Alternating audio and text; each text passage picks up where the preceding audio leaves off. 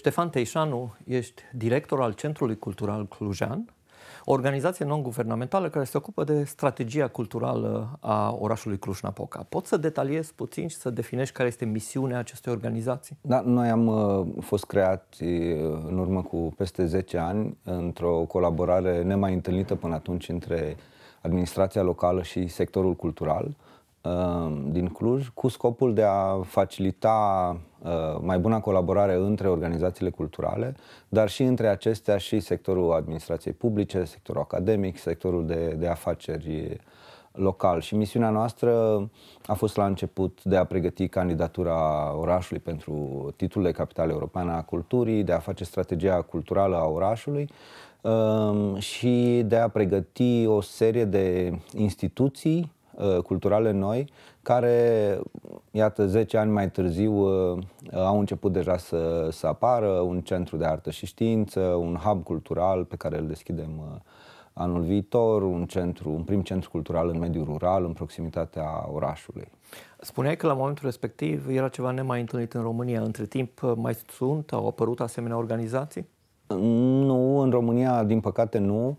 Uh, în plan european mai sunt uh, uh, organizații similare, însă ele de obicei sunt găzduite de municipalitate, de către primăria locală, care oferă practic o platformă organizațiilor culturale administrată însă de, de către instituția locală. Modelul acesta independent nu l-am mai, nu l-am mai întâlnit pe, pe nicăieri. În momentul ăsta noi adunăm din în Cluj-Napoca aproape 120 de organizații, instituții culturale, organizații culturale non-guvernamentale, muzee, teatre, galerii, universități. Ai pomenit termenul independent. Asta înseamnă că organizația este independentă în acest moment față de administrația locală sau oricare alte instituții și surse de putere. Da, administrația locală este unul dintre uh, finanțatorii noștri. Uh, la fel este și Comisia Europeană, lucrăm și cu Guvernul României și cu finanțatori privați de toate felurile. Uh, administrația față de ceilalți este principalul nostru partener strategic, ca să spun așa, pentru că noi suntem o organizație independentă, însă avem o misiune publică uh, și, a, și anume aceea de a crește colaborarea între cultură și celelalte sectoare cheie ale orașului, de a crește accesul publicului din Cluj și din împrejurimi la, la actul cultural.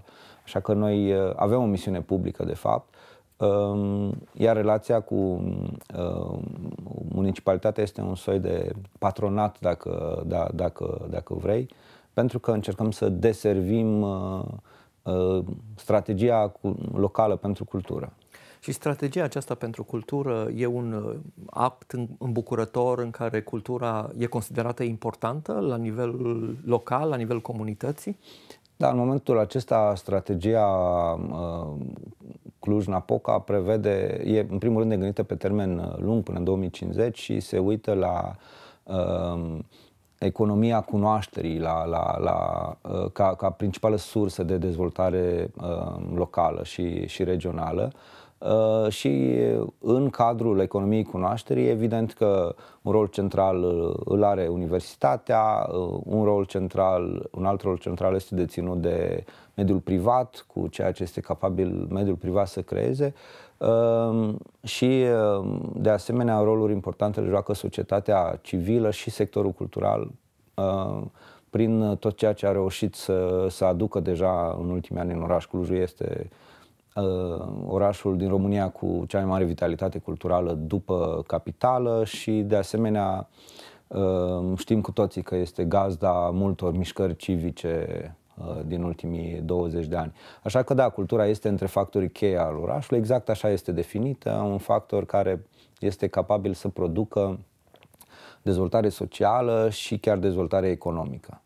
Uh, asta într-o perioadă în care, în general, credem sau se crede că tocmai sectorul cultural, partea culturală, e mai puțin importantă decât cea economică sau uh, administrativă și așa mai departe.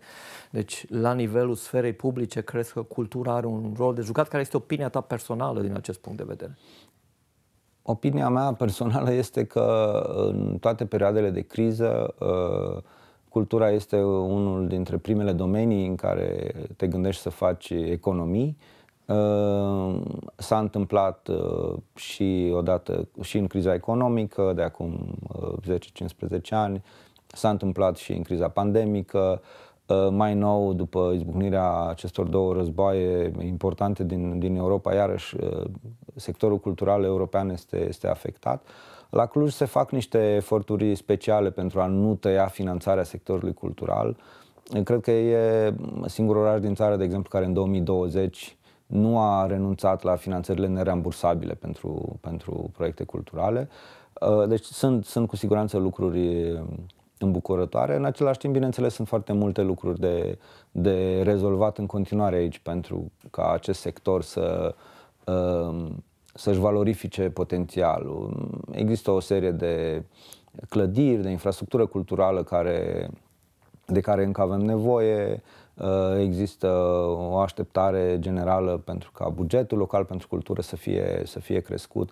Anul acesta a crescut cu 25%, e un lucru îmbucurător, dar ar trebui să mai crească la fel câțiva ani la rând ca să ajungem unde Dar dorim. dincolo de aceste detalii financiare, administrative, cum vezi activitatea centrului și a ceea ce acesta reprezintă într-un oraș cum e Cluj-Napoca? Ce înseamnă și ce ar fi îmbucurător? Care ar fi semnele bune ale unei asemenea activități?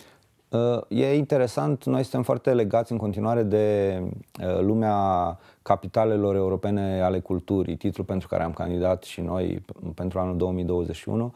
Uh, în competiția respectivă a, a câștigat Timișoara pentru România la, la o, o competiție foarte strânsă, am terminat chiar la egalitate de fapt. Uh, însă am rămas ancorați în această lume și plimbându-ne mult prin Europa și văzând cum se descurcă alte orașe, Uh, e interesant pentru noi să vedem de fiecare dată că ceea ce alte orașe din Europa celebrează ca un an special al, al capitalei culturii, uh, la noi, în Cluj, și o spun cu tot uh, respectul față de ele și cu toată modestia locală, e un an oarecum obișnuit, ca să spun așa, din strict din perspectiva manifestărilor culturale. Adică amploarea manifestărilor culturale din Cluj și numărul lor, noi estimăm că în oraș există uh, minim 2000 de evenimente culturale în fiecare an. Deci numărul evenimentelor culturale din Cluj și amploarea multora dintre ele, avem aici probabil din top 10 festivaluri în România, 5-6 sunt, sunt în Cluj. Uh, deci numărul și amploarea evenimentelor uh, ne, ne pun deja într-o, într-o ligă superioară, să spun așa. Uh, așa că în Cluj nu este nevoie neapărat de o nouă instituție care să producă evenimente, ci este nevoie și aceasta este nevoia căreia încercăm noi să răspundem, este nevoie de o, de o organizație care să creeze mecanisme noi prin care organizațiile culturale și instituțiile culturale existente Uh, să poată deveni mai puternice, să poată accesa spații noi, resurse noi și deci așa mecanisme mai departe. noi înseamnă asta? Spații noi, resurse noi? Uh, noi, de exemplu, gestionăm uh, un program de rezidențe artistice la nivelul orașului, dăm tot soiul de burse pentru artiști, pentru manageri culturale, avem programe de formare, prin care managerii organizațiilor culturale participă la, la cursuri în fiecare an.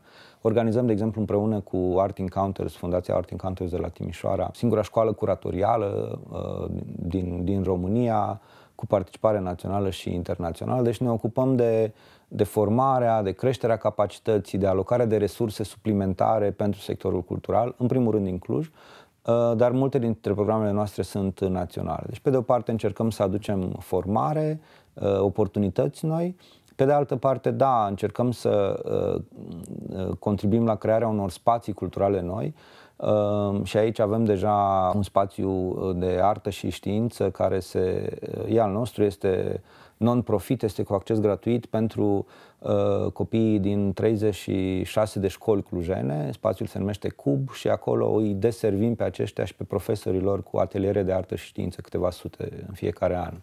Un alt spațiu uh, la care lucrăm acum și pe care îl deschidem anul viitor este un, un hub cultural construit de primăria Cluj-Napoca în vechea garnizoană de pe 21 uh, decembrie.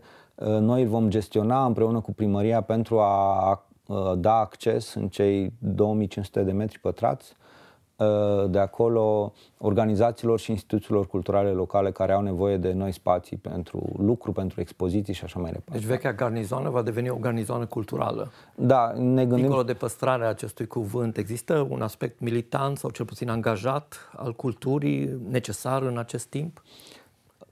Cu siguranță. Noi uh, uh, ne-am asumat, prin statutul nostru și prin misiunea noastră, noi ne-am asumat să fim un partener al uh, administrației locale, județene și ai celei centrale în elaborarea de legi mai bune pentru, pentru cultură și de politici culturale care să întărească acest sector. Deci abordarea noastră este mai degrabă una partenerială, suntem mereu în grupuri de lucru, avem în fiecare an zeci de sugestii, uh, suntem reprezentați uh, prin mine și colega mea, Rarița Azbranca, directorul nostru de program în Consiliul Economic și Social al României, tocmai pentru a putea interveni uh, în legislația țării în chestiuni care și țin practic de în aceste poziții reprezentați organizațiile culturale mai mari sau mai mici. Da, da. Deci noi, noi avem această abordare Uh, care nu este militantă în sensul public, ci este militantă în sensul uh, uh, de specialitate al sectorului cultural. Deci acolo unde se întâmplă politici publice, se lucrează la politici publice, suntem cu siguranță parte.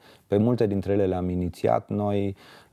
Vă dau un exemplu la nivelul Comisiei Europene, inițiativa unei politici a Uniunii pe tema culturii pentru sănătate, deci ce poate face cultura pentru sănătatea fizică, mentală și emoțională a oamenilor. Această inițiativă a pornit de la Cluj, este o inițiativă a noastră pe care am și ajuns să o uh, coordonăm împreună cu mai multe organizații de specialitate din Europa, între care și Organizația Mondială a Sănătății. Deci suntem la acolo unde se întâmplă aceste schimbări strategice Uh, de obicei nu timp... suntem, uh, nu să ne vedeți la proteste sau la, la acțiuni publice de, de genul ăsta. Da. Uh, dar în același timp oamenii de cultură sau o parte dintre oamenii de cultură sunt sceptici cu privire la aceste noi aparate, la felul în care cultura este până la urmă legată tot timpul de criteriu economic, administrativ. Cum reușiți să negociați aceste așteptări ale oamenilor care mhm. lucrează în cultură cu realitatea în care trăim? Da, e foarte uh, curios cum uh, în zilele noastre încă multă lume are această așteptare de a măsura impactul culturii în termeni strict economici.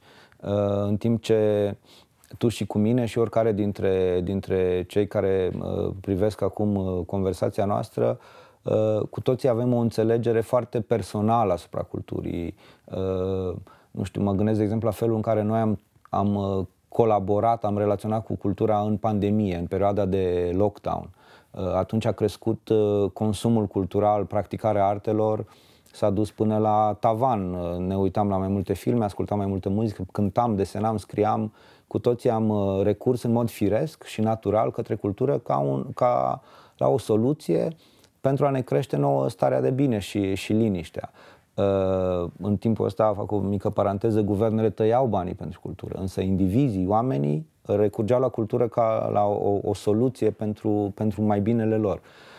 Deci există această valoare intrinsecă a culturii, care este foarte greu de pus în, în cuvinte, însă pe care o cunoaștem toți ca uh, experiență personală Ehm, și care nu va putea niciodată face uh, să fie tradus administrativ, să fie tradusă, tradus administrativ, decât cel mult poate în regim de satisfacție personală, uh, părere subiectivă legată de bunăstarea psihologică a noastră a fiecăruia.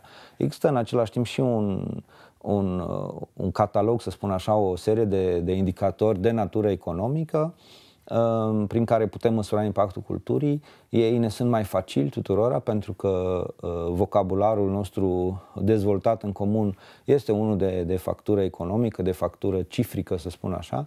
Și sigur că este relevant câți vizitatori produce turismul cultural într-un oraș, uh, turismul festivalier sau turismul de patrimoniu. Este relevant uh, cât, câte locuri de muncă Uh, produce sectorul cultural, uh, ce venituri aduce în oraș și noi lucrăm și noi cu asemenea cifre. De exemplu, în Cluj, pentru fiecare ban public, uh, pentru fiecare leu public primit de către organizații non-guvernamentale, ele au adus alți 5 lei în oraș, de undeva, din fonduri europene sau din fonduri private în general. Deci ne uităm și la aceste cifre, acolo unde este nevoie de de, a, de, de cifre, dar e o mare bătălie a oamenilor de cultură și a sectorului cultural uh, pentru a nu reduce uh, impactul culturii, rolul culturii, importanța culturii la aceste cifre economicizate. Deci asta e o bătălie ce se duce în continuare și care va rămâne așa. Aș vrea să te întreb, ai pomenit ceva mai devreme și uh, proiecte care nu sunt pentru Cluj-Napoca și unul dintre acestea este România Remarcabilă. Ce se întâmplă acolo? Da, uh, gândirea noastră este una uh, în rețea, să spun așa. Așa cum avem foarte multe organizații locale care ne sunt membre, la fel am, am gândit niște proiecte de politici publice în domeniul culturii la nivel european într-o rețea și la fel am gândit o rețea care se numește România Remarcabilă, în care am adunat 12 comune din Transilvania, pentru a ne uita la ce impact poate aduce cultura, ce impact poate aduce patrimoniul în satul românesc. Pentru păstrarea și valorificarea mai bună a, a culturii rurale. Și această, această rețea în care lucrăm de 5 ani în aceste 12 comune pilot a făcut niște progrese uh, foarte importante. În primul rând am uh, am agreat o metodologie uh, în care specialiști din domeniul culturii și comunitate locală, uh, primar, învățătoare, preot, copii, bătrâni, uh, discută și își evaluează bogățiile culturale și patrimoniale de la nivel local pentru a putea, pe baza acestei valori, să-și facă planuri de folosire a lor pentru dezvoltarea comunei. Uh, pentru a o face mai atractivă, pentru ca tinerii să rămână acolo sau alți tineri să se ducă să locuiască acolo, uh, pentru a aduce turiști, pentru a, a-i sprijini pe producătorii și artizanii locali, de exemplu. Deci am creat această metodologie, am făcut foarte multe cursuri pentru primari, pentru oameni uh, din, uh, care lucrează pe atragerea de fonduri publice, pentru facilitatori uh, locali, pentru profesori. Uh, la fel în direcția asta valorificării patrimoniului. Uh, avem o colaborare. o asemenea conștientizare, un asemenea act din punct de vedere cultural în zona rurală nu mai exista de mult în România, practic, fusese abandonat. Sunt, uh, sunt inițiative uh, foarte importante. Uh, Mihai Eminescu uh, Trust de la uh, al uh, pe care o știm ca o fundație responsabilă de regenerarea și preservarea patrimoniului Uh, săsesc. Uh, așa mai sunt uh, Ambulanța pentru Monumente, o altă inițiativă non-guvernamentală care salvează monumente istorice.